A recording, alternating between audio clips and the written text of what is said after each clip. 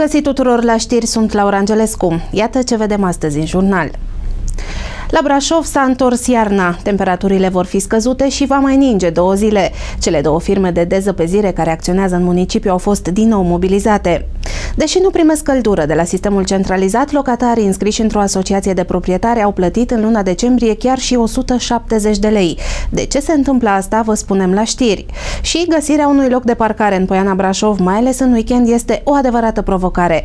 Vedem imagini mai târziu în jurnal plătesc bani grei fără să consume nimic. În această situație disperată sunt zeci de locatari de pe strada de mijloc. Deși nu primesc căldură de la sistemul centralizat, oamenii au plătit în luna decembrie chiar și 170 de lei, doar pentru că țevile noului sistem de termoficare trec prin locuințele lor. În această situație se află aproape 200 de locatari înscriși în Asociația de Proprietari de Mijloc 146. 90% dintre ei au centrală proprie de apartament. Oamenii sunt furioși că plătesc o grămadă de bani pentru țevile care nu au fost tăiate. Unele dau căldură, altele nu. La apartamentul 18 e neactualizat numele, dar 67,67 pentru patru țevi care trec prin casă. Jumătate din țevi sunt băgate în perete. Da. Adică nu mi încălzește de la o sumă de 120 de lei cât plătesc gazul și îmi încălzesc un apartament întreg. Plătiți aproape să mai bine de jumătate pentru țevile alea. Mult de jumătate. De care nu aveți nevoie. Exact. Total general 1774. Deci 174 de lei pe luna decembrie pentru niște țevi care vă Niște țevi care nu trebuie plătite. de care nu aveți nevoie Nu avem deloc. nevoie deloc de ele. Pe ce chestie? Face chestia asta. Nu se poate. Pentru două țevi să plătesc 100 și cât mi-a pus? 136 și 94 de bani. Bun. A doua listă vine refăcută, vine a doua listă și scrie refăcut și scrie 158 de lei și 49 de bani. Tot pentru două țevi pe care... Tot pentru două țevi care le avem. Și a treia listă, pentru tot cele două țevi, mi-a venit 161 și 41 de bani. Situația unui alt proprietar este, dacă putem spune așa, mai fericită. A plătit aproape 50 de lei pentru două țevi care sunt complet izolate, aproape cât factura la gaz. Pe două luni de zile am plătit 144 de lei gazul metan. Asta vine o medie de 70 de lei pe lună. 70 și ceva de lei, hai 80, poftim, hai 100.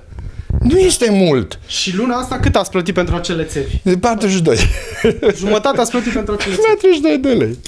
E ceva, nu e în regulă. Cu Trebuie... banii aia mai încălzeați încă o jumătate de lună, practic, dacă se face. Da, da, sau chiar două, hai să zicem o săptămână, două săptămâni. Asociația de proprietari de mijloc 146 are contract cu o societate care calculează consumul termic. Reprezentanții firmei nu au putut fi contactați pentru un punct de vedere. Administratorul asociației spune că se încearcă găsirea unei soluții. Proprietarii au venit și au făcut o serie de sesizări care sunt la vreo 30 în acest moment, deci cam 30 de sesizări și sesizările vin, inclusiv astăzi am primit în jur de vreo 4 sau 5, câte am primit doamna? 4. 4 astăzi. În continuare vom încerca să mergem să le spunem că nu este bine, Dacă problema nu se va rezolva, proprietarii care se consideră nedreptățiți spun că vor depune reclamații și la protecția consumatorului. Dacă în weekend am avut la Brașov temperaturi de 10 grade cu plus, următoarele zile vor fi geroase. Sunt anunțate temperaturi de până la minus 17 grade Celsius. De ninsori vom mai avea parte cel mult două zile, apoi cerul se va curăța de nor și vom avea soare cu dinți. Brașovul a scăpat pentru un moment de codul galben de ninsoare, dar nu înseamnă că nu vom avea zăpadă. Va ninge la munte inclusiv joi, apoi precipitațiile se vor restrânge treptat, iar în weekend sunt șanse să vedem soarele, dar va fi ger în depresiunea Brașovului. Prognoza arată o minimă de minus 17 grade Celsius. De luni însă vremea va intra într-un ușor proces de încălzire. S-a întors iarna la Brașov. Cele două firme de dezăpezire au fost din nou mobilizate. Pe străzile orașului se acționează deja cu 21 de utilaje. Sunt vizate străzile principale, cele pe care circulă mijloacele de transport în comun, zonele mai înalte, de exemplu, strada Dobrogenu Gherea, cartierul Schei, podurile și pasajele, drumul spre Poiana Brașov și Poiana Brașov. Stocul de material antiderapant al celor două societăți care asigură dezăpezirea la Brașov este de aproape 2000 de tone. Dacă în oraș acționează 21 de utilaje în toate zonele importante din municipiu, trebuie să știți că dezăpezirea tronsoanelor 1, 2 și 3 ale ocolitoarei este asigurată de CNADNR. Restricții de circulație în zona CET Brașov. Compania Națională de Administrare a Infrastructurii Rutiere a anunțat că traficul pe podul de pe strada Timișul Sec a fost restricționat pentru mașinile cu un gabarit mai mare de 3 tone și jumătate. Decizia a fost luată după ce o porțiune din trotuarul de pe partea dreaptă a podului s-a prăbușit. În aceste condiții, autoritățile recomandă ruta Drumul Național 11, varianta de ocolire a municipiului Brașov pe tronsonul 1 și sensul giratoriul de pe drumul județean 103A de pe strada Zizinului. Șeful Senatului, Călin Popescu Tăricianu, l-a judecat în dosarul deschis de procurorii DNA Brașov. Al doilea om în stat a mers dis de dimineață la sediul în altei curți, unde dosarul în care este acuzat de mărturie mincinoasă și favorizarea infractorului se află în fază de cameră preliminară. Atât la intrarea cât și la ieșirea din sala de ședință, Tăricianu a refuzat să facă declarații.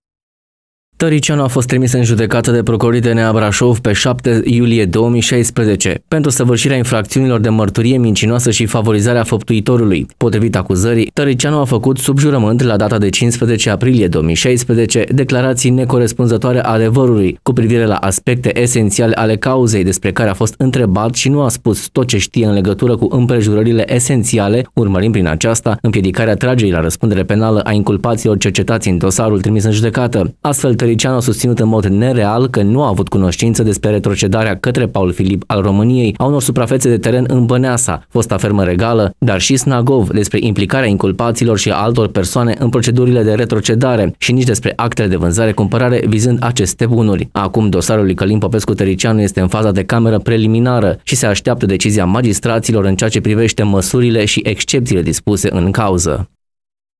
Scene șocante în inima Germaniei cu un tânăr de 18 ani din Săcele, actor principal. Românul a vrut să întrețină relații sexuale cu o șoferiță de taxi, dar din cauza că a fost refuzat, a amenințat-o cu moartea.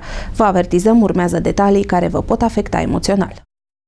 Tânărul s-a urcat într-un taxi condus de o persoană de sex feminin, care i-a cerut să întrețină raporturi sexuale cu aceasta, sens în care a început să o mângâie. Întrucât uh, victima uh, l-a refuzat, tânărul a început să o amenințe uh, și a strâns-o de gât. După comiterea faptei, tânărul a fugit, a reușit să părăsească Germania și a stat ascuns acasă însă cele timp de patru luni. Anchetatorii germani au emis mandat european de arestare pe numele tânărului, iar acum polițiștii brașoveni l-au prins, l-au prezentat curții de apel pentru confirmarea mandatului și urmează să fie extradat în Germania, unde cu respectarea prezumției de nevinovăție va fi în continuare anchetat. Tot în Germania a șocat și un bărbat de 28 de ani din Făgăraș. Românul a pus ochii pe o femeie, psihoterapeut, din Bonn. A urmărit-o în miez de noapte și a intrat împreună cu alți doi bărbați în casa victimei. Femeia uitase o fereastră deschisă. Scenele care au urmat sunt demne de scenariul unui film. Atenție, urmează din nou detalii care vă pot afecta emoțional.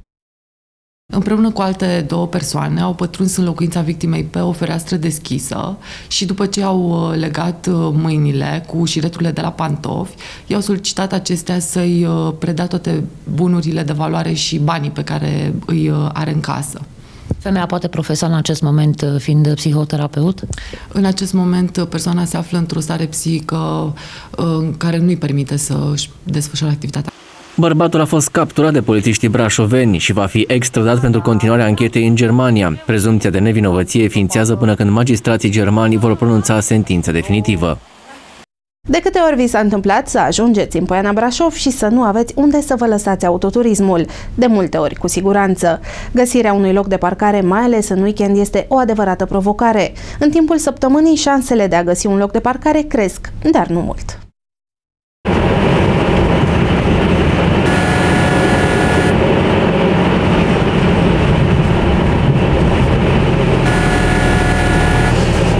Dacă în weekend este aproape imposibil să găsești un loc de parcare în uh, stațiunea Poiana Brașov, uh, vedem foarte bine că uh, și în mijlocul săptămânii este destul de greu să găsim un loc de parcare, cel puțin în această parcare care are 380 de locuri.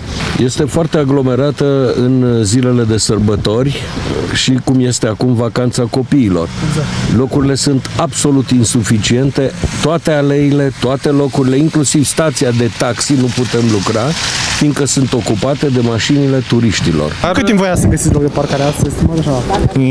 Nu, deci în week, chiar weekendul ăsta n-am ajuns aici. Dar da, nu știu, depinde. Jumătate de oră poate să-ți și 45 de minute uneori. Noi am venit mai devreme și am găsit loc de parcare. Acum nu știu ce se întâmplă. O fi greu. Primăria Brașov va inaugura parcarea din Poiana Mică în această primăvară pentru perioada, să spunem, pentru vacanța de vară, dar și pentru sezonul următor de iarnă, turiștii și brașovenii care vor merge în Poiană vor avea la dispoziție aproximativ 400 de locuri de noi de parcare. Iar uh, din acea parcare, municipalitatea împreună cu regia de transport va asigura transportul turiștilor cu un sistem de uh, midibuse sau uh, autobuze Noua parcare va avea 434 de locuri. A costat aproape 18 milioane de lei și este realizată din bani europeni. Patru persoane au murit anul trecut la Brașov în urma unor accidente de muncă, iar alți 238 de angajați au fost răniți în timp ce se aflau la serviciu. Cei mai expuși sunt muncitorii necalificați, arată datele oficiale ale Inspectoratului Teritorial de Muncă Brașov. În 2016 a crescut și numărul brașovenilor care au murit la locul de muncă din motive medicale, atacuri cerebrale sau infarcturi. Inspectorii teritoriali de muncă din Brașov au avut o activitate intensă în 2016. Reprezentanții ITM au fost anul trecut în peste 1300 de controle, la numai puțin de 1291 de angajatori. Inspectorii au depistat și 328 de persoane fără forme legale de muncă, cu 24 mai multe comparativ cu 2015. Anul trecut la ITM Brașov au fost înregistrate 242 de persoane rănite în accidente de muncă, dintre care 4 angajați și-au pierdut viața la locul de muncă. Ocupația cel mai frecvent întâlnită în rândul persoanelor accidentate la serviciu este de muncitor necalificat la asamblarea pieselor și totuși decese la locul de muncă au fost mai multe. Iată lista bilanțului. Am înregistrat 21 de situații de lucrători care au fost găsiți decedați la locul de muncă din motive patologice, în principal atacuri cerebrale sau, sau infarcturi. Dacă numărul firmelor din județul Brașov a crescut considerabil în ultimii doi ani și a ajuns la peste 35.000, numărul inspectorilor ITM Brașov a scăzut cu 30%. La nivelul județului Brașov, la această dată, sunt aproximativ vreo 35.000 de firme. Iar în cadrul compartimentului de SSM, când s-a înființat inspecția muncii în anul 2000, eram vreo 18 inspectori, iar la această dată suntem vreo 12. Mediul de afaceri din județul Brașov are o nouă șansă de a obține finanțare nerambursabilă. La sediul Camerei de Comerț și Industrie din Brașov au fost anunțate fondurile disponibile pentru dezvoltarea IMM-urilor din regiunea centru. Peste 60 de reprezentanți ai societăților brașovene au participat la un seminar de informare privind criteriile necesare pentru solicitarea a cel puțin 200.000 de euro pentru o firmă. Finanțarea se face între, de la program sume nerambursabile între 200.000 și 1 milion pentru dotări cu echipamente. Principalul scop al acestei finanțări este creșterea competitivității economice. După cum am demonstrat și în mandatul în care eram primar, am avut o prioritate pentru atragerea de fonduri europene. După cum vedem, atât autoritățile publice cât și agenții economici ar trebui să se canalizeze în această direcție. Până acum, peste 1250 de proiecte din mediul de afaceri regional au atras aproape 230 de milioane de euro din surse europene, iar mediul de afaceri din regiunea centru a beneficiat de o infuzie de capital de peste 430 de milioane de euro. Datorită acestor fonduri nerambursabile, s-au creat peste 3.000 de locuri de muncă și peste 10.000 de oameni și-au păstrat sursele de venit. Distracție cât cuprinde în aceste zile pe pârtile din Poiana Brașov. Sute de copii au profitat de vacanță și au petrecut ore bune la săniuși sau la schi. Voia bună a fost la ea acasă. Chiar și unii părinți și-au luat concediu și i-au urmat pe copii pe pârtie. Pârtia de Săniuș a fost cea mai căutată de turiști.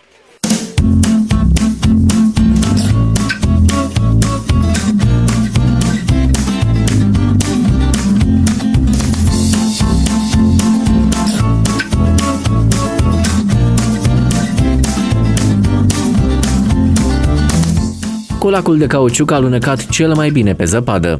Fiind vacanță, facem și lui o bucurie, ne facem și nouă, că suntem și noi un pic în concediu și e cam scurtă, dar merită. Puteți să-l dăm și pe el. Vrei să spui, te rog frumos, cum ți se pare și ce ai făcut zilele astea aici, în Panic? M-am distrat. Cu ce mai mult? Cu Sania? Cu ce? Te... Uh, cu toate. Cu toate? Noi am vizitat Castelul Bran. Ia, spune, ce ai pe M-am jucat.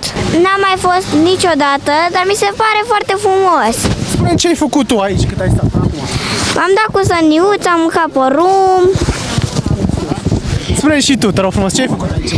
M-am dat cu Sania, am mâncat porum, m-am mai plimbat. Vrei să mai pleci acasă? Sau îți place să mai stai aici? Mm, mai vrea să stau. Ne-am dat și cu colacul și cu uh, Sania și aș mai vrea să mă dau cu schiurile. Și Cum se pare zăpadă? uh, foarte moale, cu toate că m-am lovit puțin. Și e foarte... Bine venită vacanța asta, așteptai o pauză. Da, îmi place și Vrei să te întorci sau vrea să mai stai aici? aș vrea să mai stau pentru că este foarte frumos. Prețurile sunt uh, 25 de lei pentru adult, 20 de lei pentru copil. Opțional avem o bandă rulantă pe care pot uh, să urce ca să nu obosească prea mult. A, E vacanță, vin foarte multe grupuri din toată țara, vin aici, deja ne-am făcut un nume și lumea știe unde vine în Poiană, vin aici la Pârtie. Și cum orice bucurie ține doar câteva zile, vacanța intersemestrială a elevilor se încheie duminică 12 februarie. Poiana îi așteaptă însă pe turiștii pasionați de sporturile de iarnă până la sfârșitul sezonului rece.